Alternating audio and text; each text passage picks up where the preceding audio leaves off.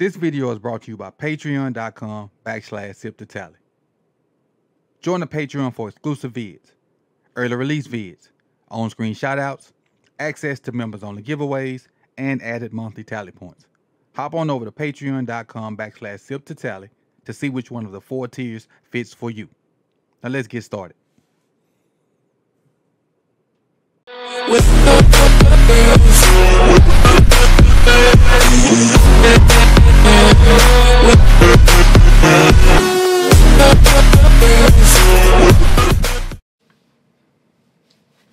Welcome back to Sip to Tally Films. I'm your host, Coach Evans, and today we're going to take a look at the reasons I think the Baltimore Ravens should sign Michael Pittman Jr.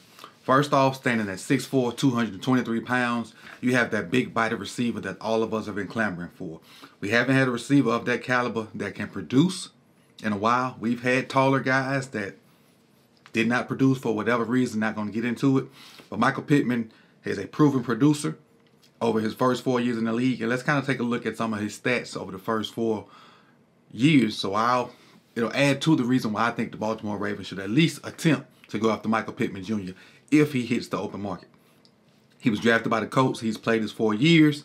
It's time, you know, that four year time period come up because he wasn't a first round draft pick.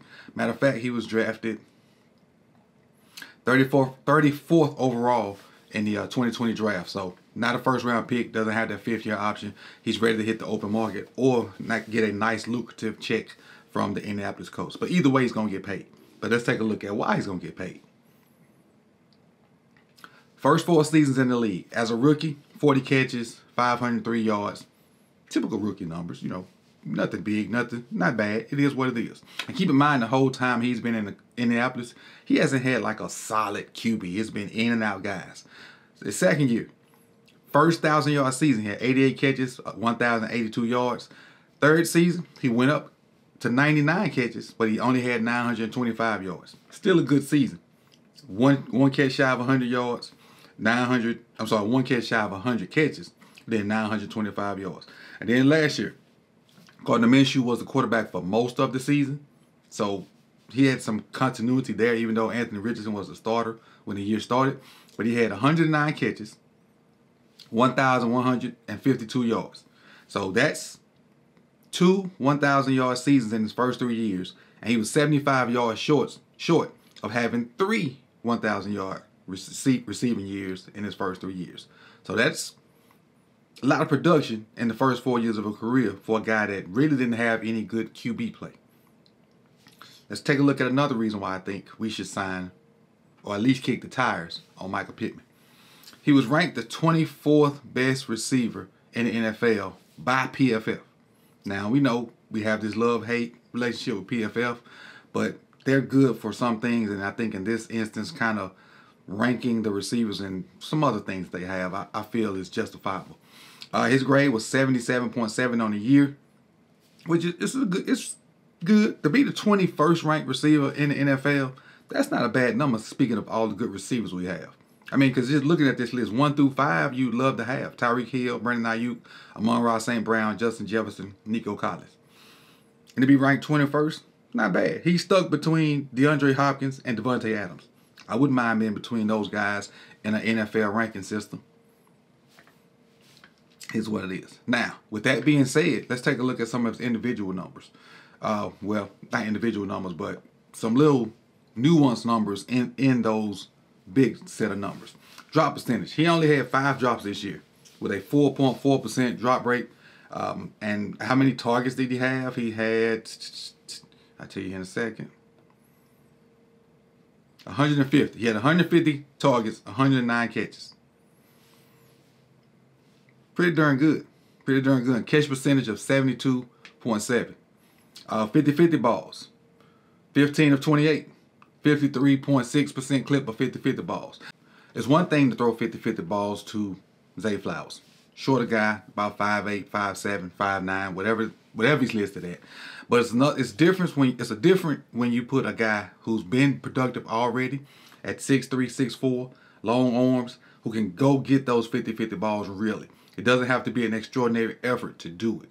He's proven that he can do it this year, catching them over at 50% clip. So it's it would add an element to the offense that the offense hadn't had yet. I think it would take the offense to a different level. Even though the offense showed improvement this year, it was still too much up and down, up and down, up and down.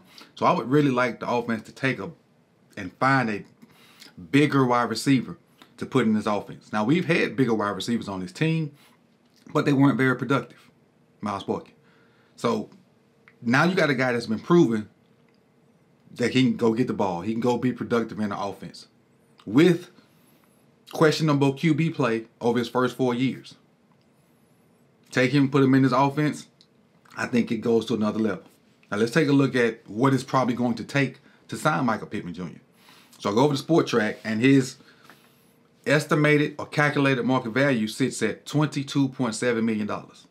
That's a boatload of money. Will the Baltimore Ravens fork that up for a wide receiver? I don't know. Should they? Most definitely. Most definitely fork that over. Um, whether it's 22 million, I'm not really sure. But they the market on Spotrac says that he should get a contract for four years, right around 90 million dollars, averaging 22 million dollars a year. So I think the Baltimore Ravens should kick the tires on Michael Pittman Jr. and see if they can find a way to, to sign him. Proven guy, got the stats to prove it up, got the tape to prove it up, and um, he'd be a extremely important addition to the Baltimore Ravens.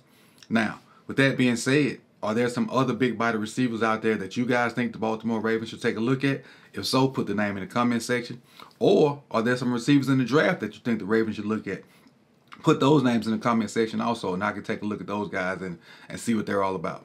So I appreciate you guys for coming through. You could have been anywhere in the world, but you chose to be here with me. Like the video. If you have not subscribed yet, please consider doing so. And when you do subscribe, hit that bell so it'll be notified when the rest of these videos drop. It's uh, time to get the workday started. It's about 5.30. And uh, enjoy the rest of your Tuesday. And I'll see you when I see you. Peace.